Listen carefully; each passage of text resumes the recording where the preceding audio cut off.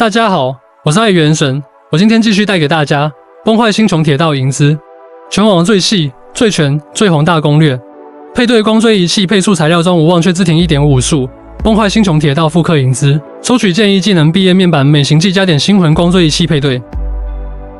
角色升级，From 光升级行迹之一的材料在离你展示外，有需要的可以暂停查看一下。这边我们来看一下它的技能部分：普生发和普攻，对指定敌方单体造成等同于银之一定攻击力的物理属性伤害，就没什么特别之处。下面我们来看一下它的战绩啊，对敌方全体造成等同于银之一定攻击力的物理属性伤害。唯一普普攻不同的就在于一个是单体，一个是全体。我们空塔会使用战绩来为我们大招来充能量，普攻一般是不使用的。在下面我们看一下它的核心呢，也就是它的终结技之后九十点能量对敌方全体造成等同于之一定攻击力的物理属性伤害，并且呢，它消耗一百八十点能量，还能够对敌方全体造成等同于明之百分之二百八十攻击力的物理混害，并且呢，还可以额外造成六次伤害，每次伤害对敌方随机单体造成等同于银之一定攻击力的物理混害。那么这个中敌直接代表着他批储存大招，它的满。能量大招是一百八十连，而我们到九十的时候就可以直接释放一盆大招，所以我们能发现它的动画效果也是不一样的。一层大招破局之后是不对花瓣进行一个斩击的哦，而我们的二段大招释放完成之后会对我们的花瓣进行一个斩击，我们能够发现这个是有所不同的啊。所以这里我们要找银子的核心就是它的终结技，主要的输出也就来源于终结技。下面我们来看一下它的天法，释放普攻看击终结技的时候，每命中一个敌方单位都可以为银之回复三点能量，并。并且获得一层升格，每层升格使银子的暴击率提高百分之二点五，最多叠加四次，也就相当于让银子的暴击率也能够提高百分之二十五，这个也是非常不得了的，极大的缓解了咱们副死掉的压力。然后呢，还可以让咱们额外的回能，银子的大招能量非常多，一百八十点才能够回满，九十点是小大招，一百八十点是大的大招。我们通过这个图标也能够发现啊，能够看到这个图标是有两层的两圈，大家有没有发现，当它达到内圈满的时候，那么它。它就可以释放一段的大招，当它两圈全部满的时候呢，那我们就可以直接释放二段的大招。下面我们来看一下它的秘籍啊，使用秘有进入一定区内的敌方陷入十秒的眩晕状态，那么这个状态下敌方是不会主动攻击我们的，并且我们主动攻击敌方的时候，进入战斗物还可以对敌方全体损失等同银之百分之八十。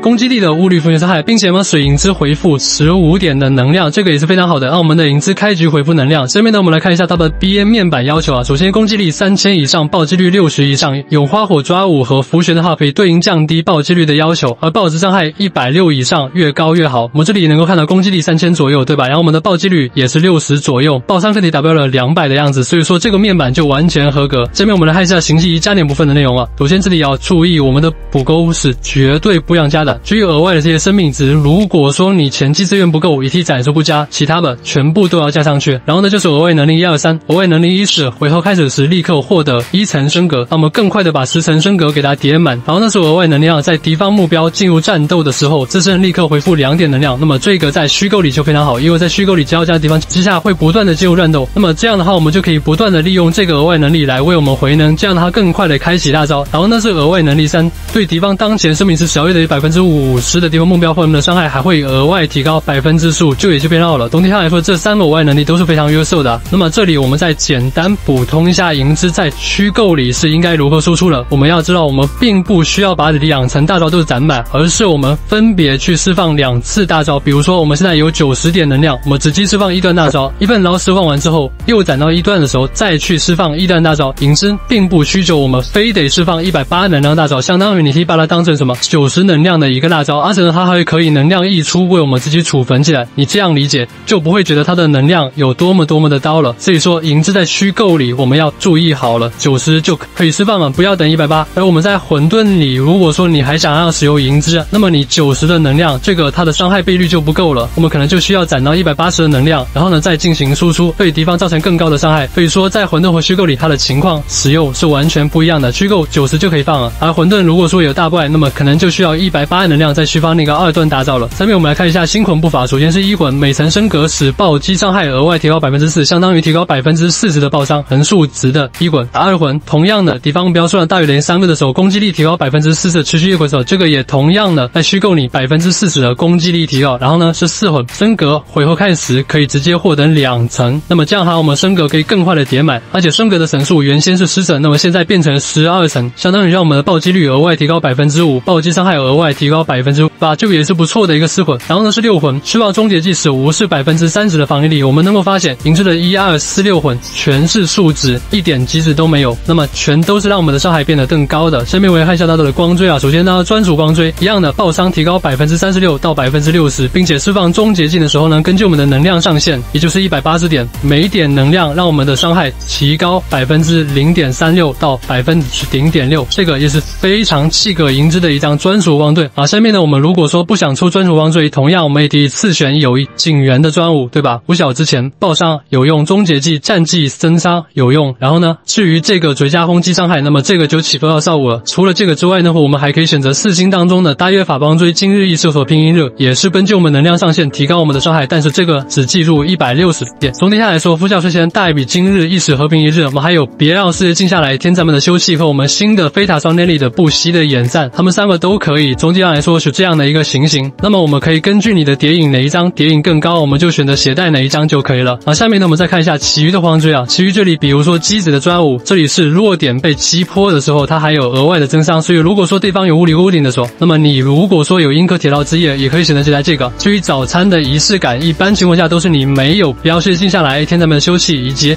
以上的这些之后，那么你可以选择携带早餐的仪式感。好的，那么接下来我们再看一下仪器部分啊，首先是外圈套装，这里我只推荐一个，也就是四分，用过都知道它有多好，在虚构里简直就是无敌。让我们释放终结之火行动极限百分之二十五。我们之前说了，我们在虚构里九十能量就可以开大招了，然后呢消灭敌方目标火一能，然后呢敌方出场还飞一火一能，对吧？所以说配合这个之后，我们基本上可以让我们的大招不断的去释放，然后呢还可以让我们释放大老虎、斯拉角。什么内线这边我们可以有两位选择，一个是汪星，一个是萨，他们两个根据咱们父子爻的优劣，然后呢进行选择就可以了，哪个父子要更优秀就选择哪一个，主要还是为了达到咱们毕业面板的要求，对吧？然后上面呢我们来看一下死雕部分啊，首先是神子充能攻击神，只要你在虚构中，那么选择通能神必带。如果说你想灵芝打混沌，那么一般可以。选择攻击神。球的话五五伤，衣服爆绿爆伤都可以，这个一样根据咱们毕业面板的要求，哪个不够就优先带哪一个。然后鞋子就是攻击鞋，父子要暴击率等于暴击伤大于攻击力百分比。然后下面呢我们再看一下配对部分的内容啊，银之单 C 配合停银银软莓博罗尼亚花我这份鸟灯辅助，再带上一个生存位。双 C 的话呢，我们也可以选择银枝配上我们即将出的翡翠，翡翠给银枝花场输入债源的状态，然后呢进行输出。同样带一个停银软梅博罗尼亚花我这份鸟灯辅助，再带一个生存位。同样我们在虚构中，如果你的生存压力不大，我们就可以以不带生存位直接把生存位弃掉，然后呢再多带一个辅助位。这里我们也搭了两个经典的队伍，一个是银之、秦银、花火和霍霍，对吧？停银和霍霍都可以为银枝进行充能，然后呢可以把霍霍换成知更鸟，或者你没有知更鸟换软梅呀或者博罗尼亚等等都是没有任何问题的。这里我们要知道，对于银之来说，最佳生存位那么一定是霍霍，因为霍霍的大招是比为我们充能的，有霍霍优先带霍霍，那么这个队伍就可以说是银之目前来说有生存位的情况下最优的队伍了。好了，最后我们再来看一下银之的抽取建议啊。首先，擦逼让请拿下，不用多说。虚波达崩满的玩家，那么银之翡翠你二选一，因为他们两个是同一时间段出了，他们两个选择一个就可以了。虽然银之和翡翠他们两者我们刚才也说了可以互相搭配，但是没有有必要为了银子去收翡翠，也没有必要为了翡翠去收银子，两者选一个就可以了。当然，如果说你今天抽过银子，本这个翡翠卡时你又比较喜欢翡翠，那么你可以考虑收翡翠。如果说你之前是两个一个都没有的，那么只要二选一就可以了。然后专武和命座方面，如果说非要都拿一星，